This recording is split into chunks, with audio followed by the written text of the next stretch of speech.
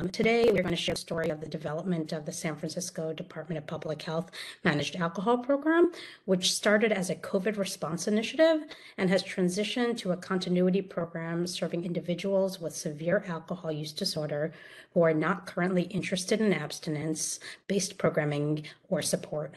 I'm delighted to be co presenting with Megan Kennel, um, the charge nurse um, for our programs. Um, during today's talk, um, we aim to introduce the philosophy behind managed alcohol programs, describing how these programs fit into the spectrum of alcohol harm reduction work. We then plan to tell the story of the San Francisco Managed Alcohol Program, reviewing its history and providing a glimpse into the on the ground experience of participants and staff. Finally, we would like to highlight how we approach the complex medical ethical questions that have come up for our team during the iterative development of our care model.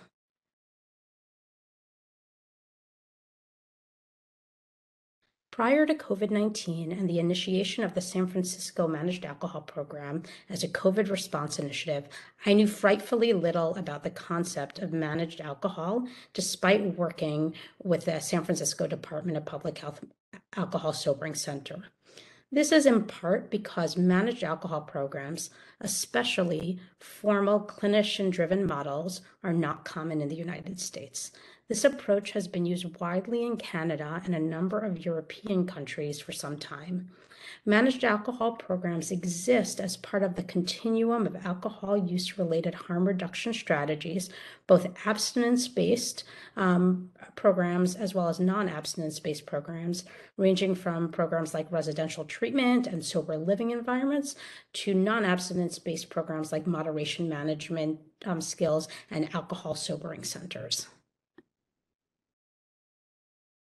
I briefly want to mention that there are two main types of managed alcohol programs peer led managed alcohol programs, which are often run by individuals with lived experience, and clinician initiated models, which may be better suited to serve individuals who are at high risk of withdrawal complications or have medical complications associated with their alcohol use disorder. Our program falls into the latter category, with the majority of our participants having high levels of clinical, functional, and cognitive support needs that are often as a result of their longstanding alcohol use disorder.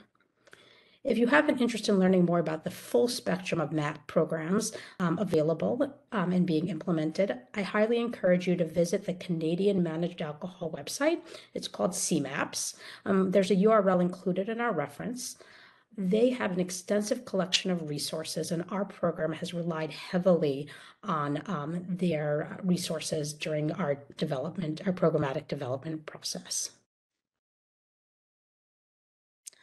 Unlike many of the other alcohol harm reduction strategies, the primary goal of managed alcohol is not to decrease the volume of alcohol being consumed. Rather, the goal is to mitigate many of the health, legal, and interpersonal harms associated with unsafe alcohol use. This includes dangerous alcohol withdrawal symptoms, physical injuries and accidents, as well as EMS, ED, and criminal justice encounters. Managed alcohol programs also focus on improving participants' sense of safety, security, and overall quality of life. There are multiple existing treatment models for people who are interested in abstinence. In managed alcohol, we come from the approach that our clients shouldn't have to be abstinent to connect to care, feel safe, or have dignity. This philosophical shift is fundamental to providing care in the MAP model. However, I do not want to minimize how unsettling and uncomfortable this shift can be, even for the most seasoned harm reduction focused program staff. Our team's weekly case conference routinely revisits this philosophical framework, questioning the trade off between structuring our program as participant driven versus our desire sometime, to sometimes more aggressively encourage less alcohol use in line with the wishes we may have for our clients. We often discuss the importance of making a distinction between what we ideally would wish for clients and what um, and respecting the wishes that they've expressed for themselves. This list includes the core components of our managed alcohol program. What makes this model distinct is that regulated amounts of alcohol are dispensed by program staff, in, and in our model, that um, program staff are registered nurses. Megan will go over the details of dosing, the dosing schedule shortly. Um, each participant's schedule is personalized to their individual needs and desires. Our program is currently housed in a motel style facility, and participants receive room and board. One of the great successes of our managed alcohol program is our ability to offer a sheltering setting that works for the large percentage of our participants who are street homeless and otherwise failing in the shelter and housing models available within the San Francisco system. Our MAP is currently a closed model, which means participants only go off site with program staff. We're actively working on protocols to facilitate community independence um, as a um, way to a graduated um, experience once people stabilize. We offer linkages to medical and behavioral health services, though engagement um, in those services is not a prerequisite or a requirement to remain in the program. Our team also offers other harm reduction and skill building services that Megan will describe.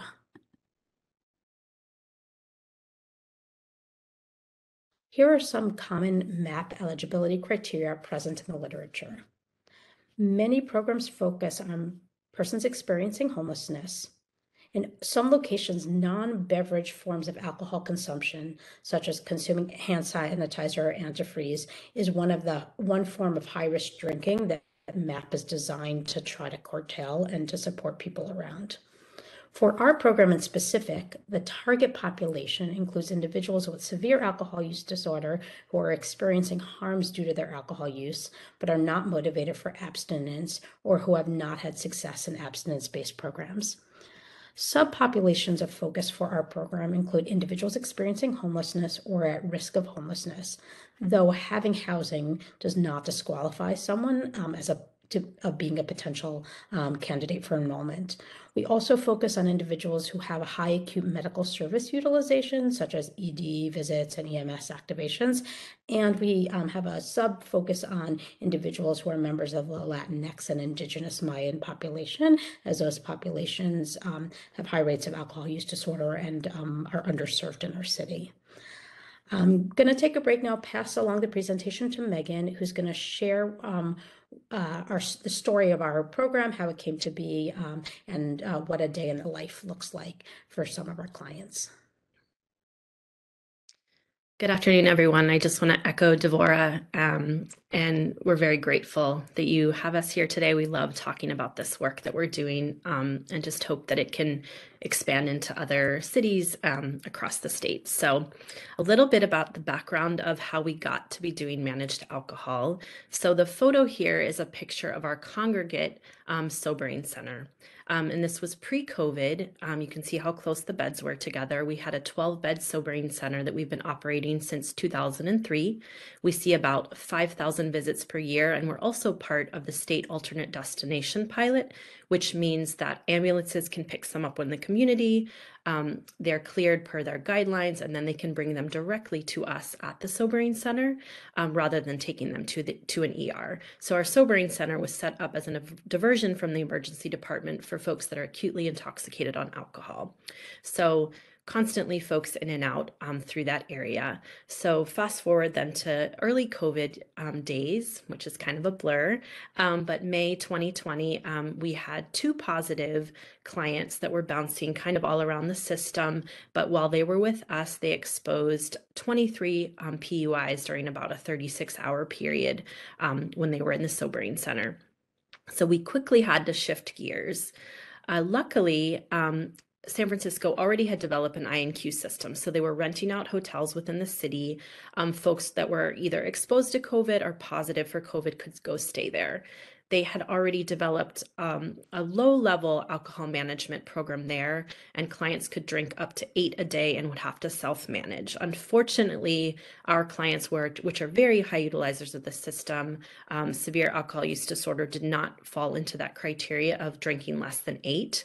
Um, luckily, basically over a two day period, um, Devora, in conjunction with our nurse practitioner, put together protocols and we basically moved, we closed our congregate sobering center. We moved um, everything to this INQ hotel, including our staffing, and at that time started a managed alcohol program with our clients that had been exposed to COVID. Next slide. So uh, the center picture there is our little makeshift first a nurses station we had at the INQ building. Um, so during our first two weeks, we considered it our INQ pilot. Of the 23 clients that we had to found that had been exposed by our two positive COVID clients, um, we were able to track down 11. That was in conjunction with our partners in the community, um, part of a community paramedicine team. So they brought those 11 in within the first two days, and we got them going on our new protocols. And what we found during that two week period that we didn't anticipate was this really glaringly obvious newfound stability. Um, it wasn't always easy, but we had clients that we had never really seen out of an in- intoxicated state.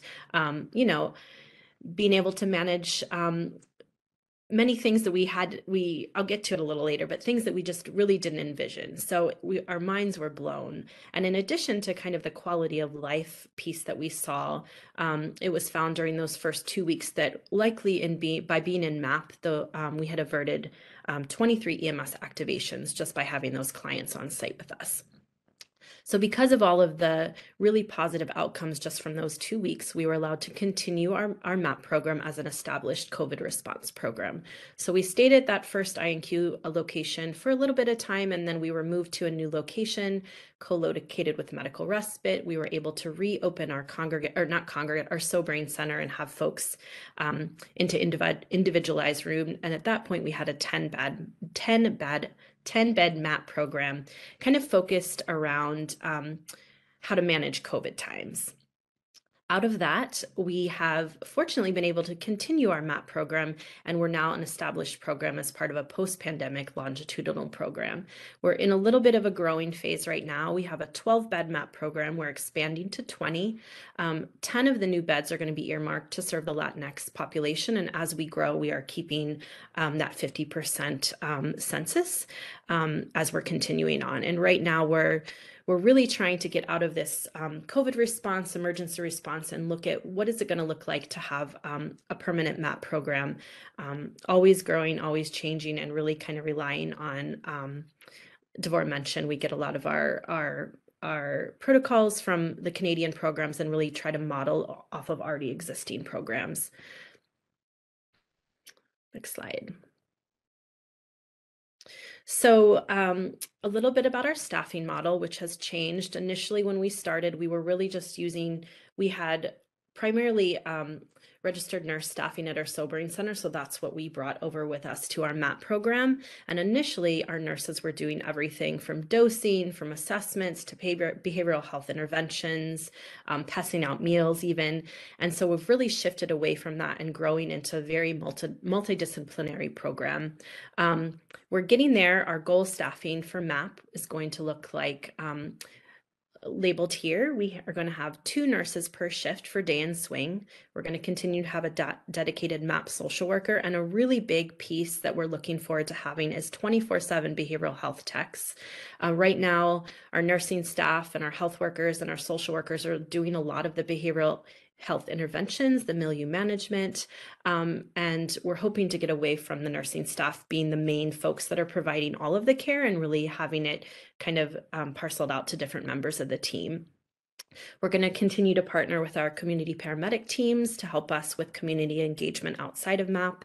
And then we'll be increasing our nurse practitioner support. Right now it's 0.2 to a 0.5 model, which means um, every day of the week we will then have um, provider support on site. Another big piece is um, we currently have shared leadership team with medical respite, and as MAP expands, we'll be having our own nurse manager. We'll have an addiction med doctor that is focused with us, and then an operations manager, which we currently don't have.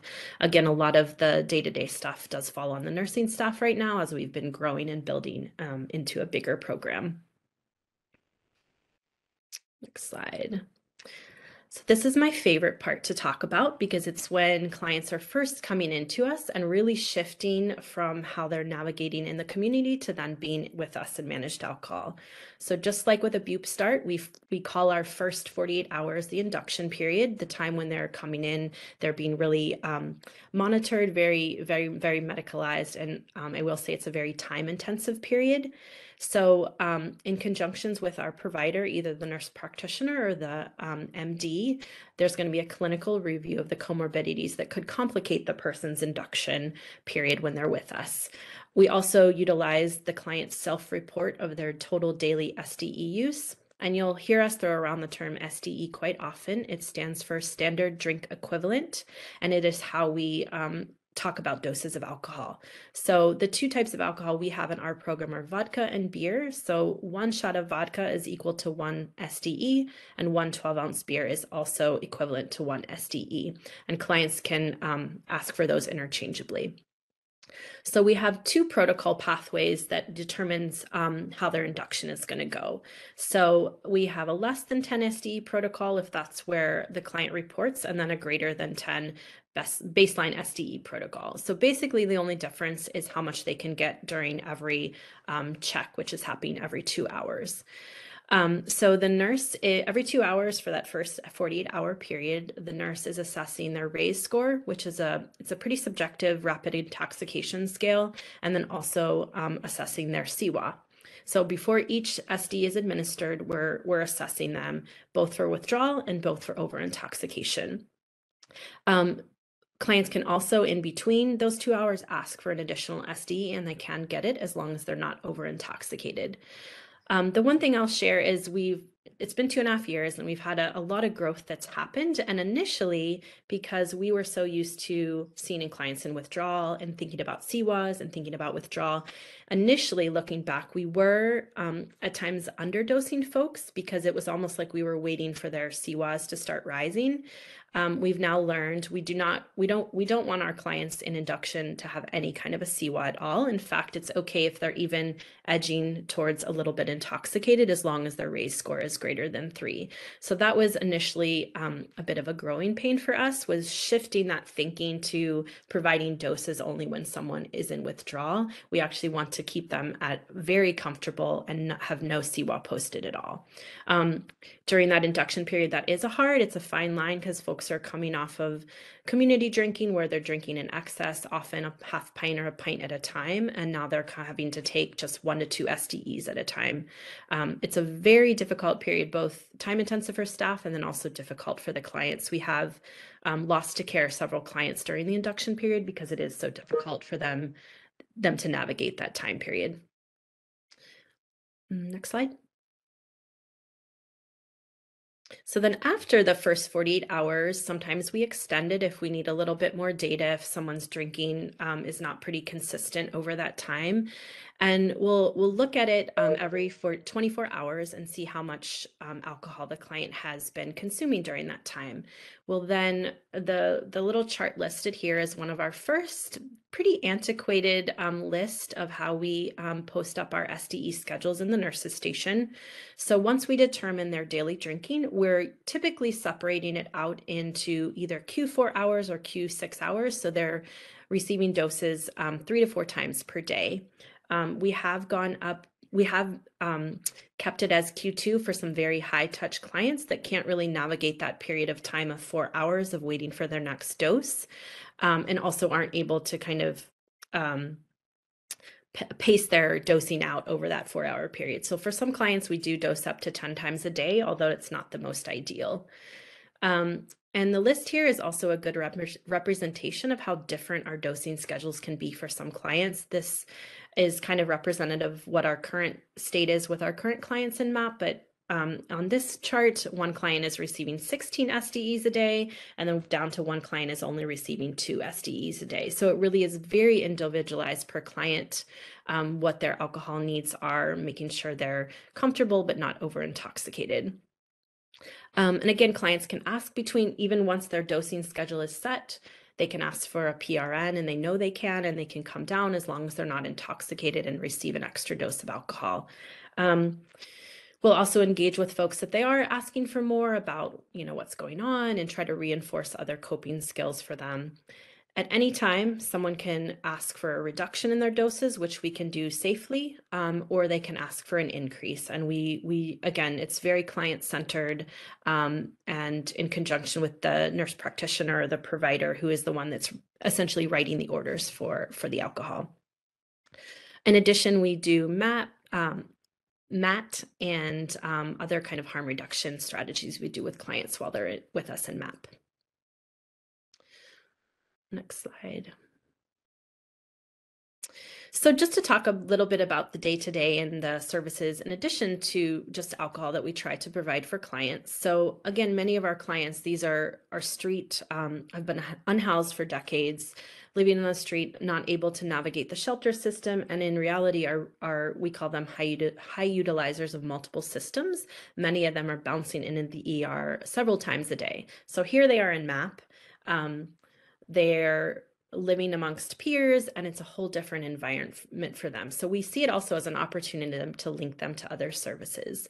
So many of our clients get linked to primary care, behavioral health, case management, housing resources. We have some folks working on immigra immigration status and income. Um, and then we also try to have access to uh, groups on site, activities, community building. And we currently have a health worker that we started with us about six months ago and has really ramped up our, our community events. The photo there is an ofrenda that um, we help the clients put together for Dia de los Muertos. Um, the other photo is a really beautiful poem that one of our clients early on in COVID, there was some virtual poetry classes and we had no idea that this client had any kind of poetry skills. And he wrote the most beautiful poetry we had ever, ever read. And he consistently participated in this group for over a year. Um, something that, you know, living on the street, bouncing between ER, it would not have been accessible for him. So we're um, in the process of putting together a book of all of his poetry that he um, produced while he was in MAP. So in addition, we also do like outings to parks, um, shopping trips for the clients. A couple of months ago, we had some symphony tickets that were given to us. So two of our clients were able to attend the symph symphony, just stuff that would really be unheard of for these clients, um, kind of in their previous state, not being in managed alcohol. Um, two things that have been difficult, um, while there's so many things that work really well, two things that have been difficult is, um, as you know, many of the clients are using alcohol to kind for for a variety of things going on in their life, and so we do see early on um, behavioral health and mental health um, stuff emerge. Um, and a lot of our clients are pretty disconnected from the mental health system. So uh, our future state, we're really looking how can we connect to behavioral health services very early on, even as part of their their intake process. Um, we have um, unfortunately lost to care several clients that really just couldn't tolerate um, this new way of drinking. Um, and we have cl some clients that have some pretty significant psychosis that emerges. So really trying to look at ways to also support those clients so we can retain them in care. Um, the second thing that's been difficult is clients, they report a lot of boredom.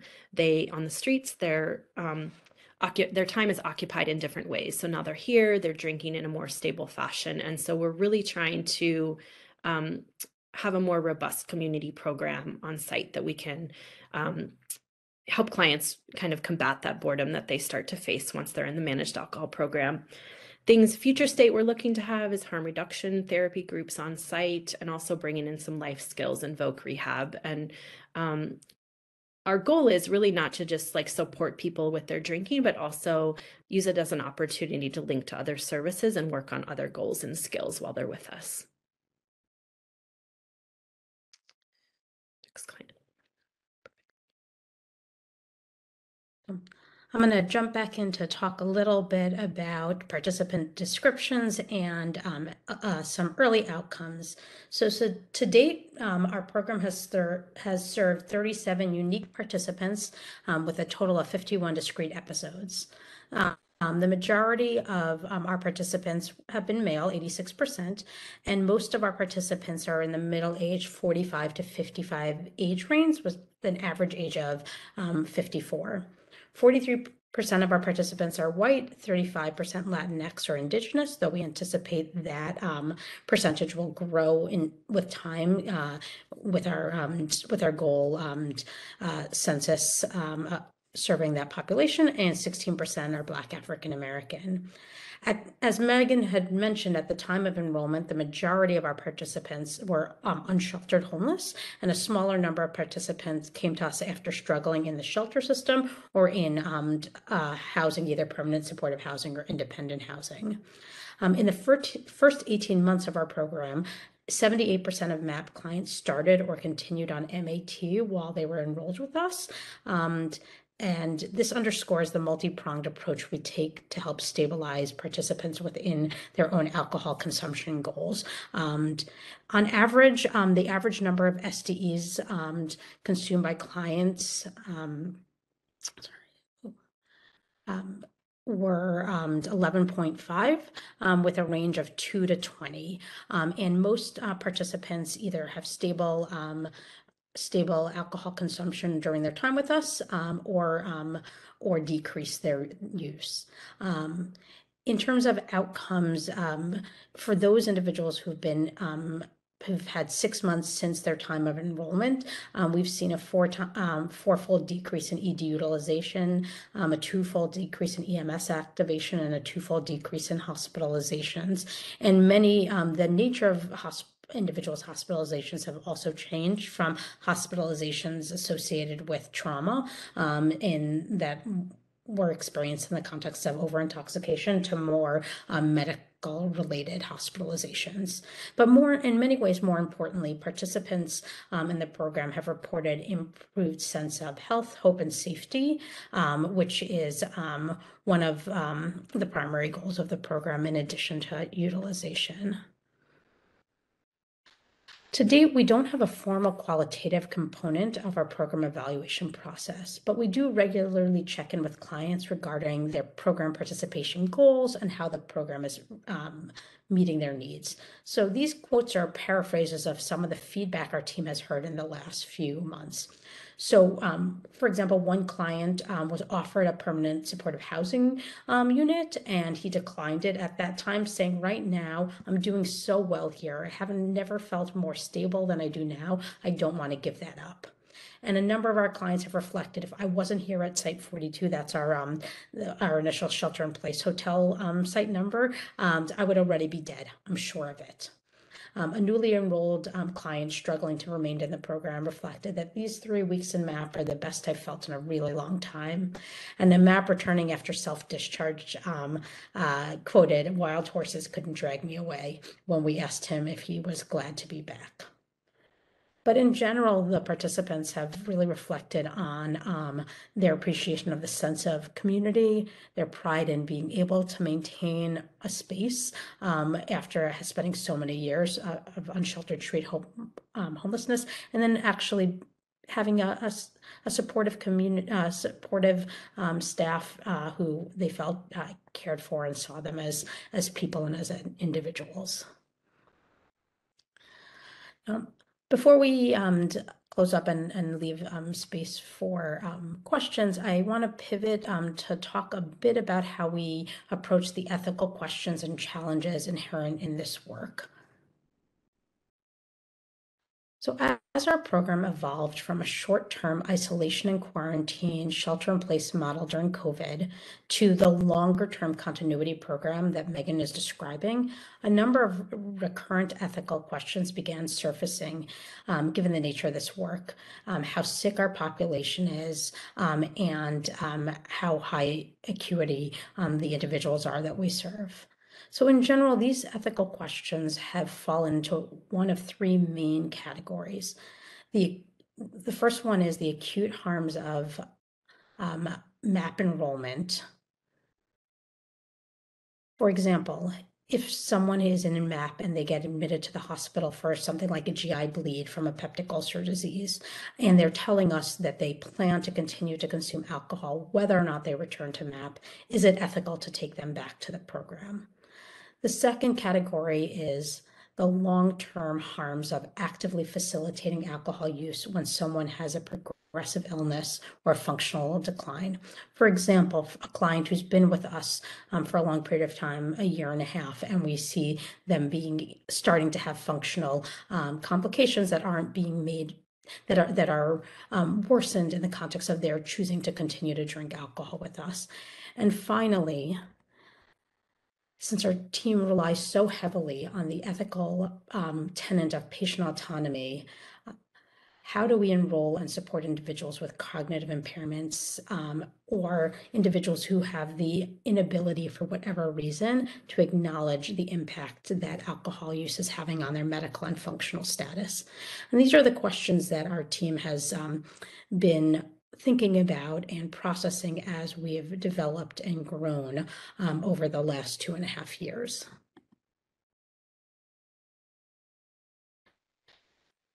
So as we've processed these difficult questions, our team has relied heavily on a partnership with the San Francisco General Hospital ethics team.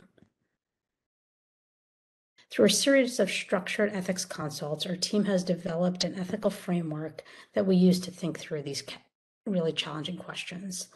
This ethical framework relies heavily on the core tenets of medical ethics, placing primacy on patient autonomy and ba- trying to balance that autonomy on our team's commitment to do as little harm as possible.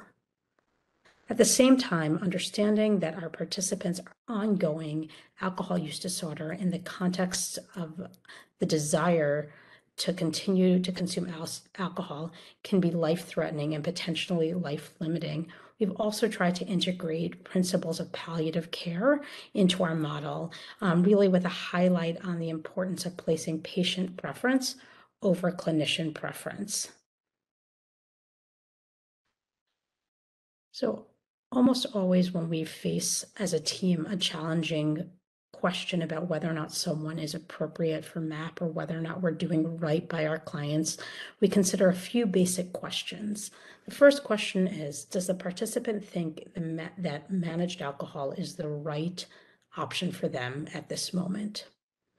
Can the participant imagine or envision a life without drinking now or in the future?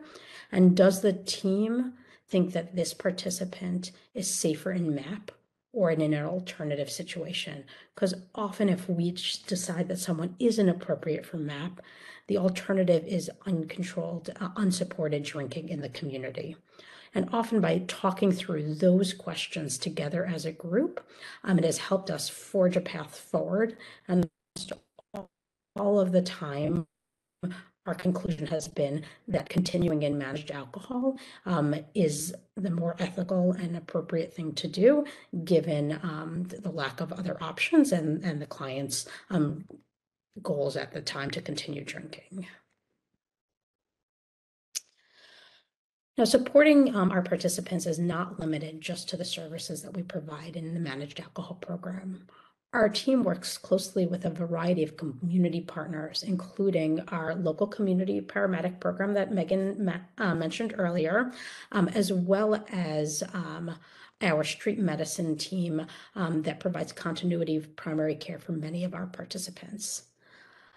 I would also like to highlight that our team has developed a really close relationship with the San Francisco General Addiction Consult team that refers um, patients both for new intakes when they um, engage with someone in the hospital who isn't expressing a desire for abstinence and they think they would be a good fit for us. They'll, they'll submit referrals. Um, and they also help facilitate um, goals of care discussion or um, uh, act as an in between with inpatient teams when we um, have someone admitted to the hospital who has a um, who, who's enrolled in our program because that transition period can be challenging.